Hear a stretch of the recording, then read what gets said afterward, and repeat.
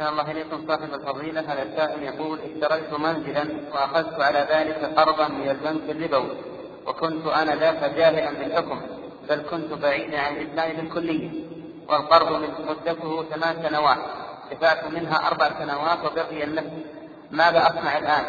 هل أبيع المنزل وأرجع الأموال إلى البنك حتى أنتهي من هذا الذي فعلته أم أبقيه عندي ثم أؤجره؟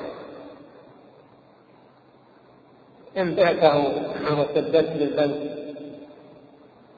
آه الأموال التي أقرضك إياها فلا بأس. وإن أجرته ووصيت البنك من آجاره لأن البنك له دين عليك والربا الذي زاده البنك عليه يتصدق في مقابله تتصدق في مقابله. تحسب الربا الزيادة التي بنيت بها تتصدق من من الدراهم ما يقابلها للتخلص منها. ولعل الله أن يتوب عليك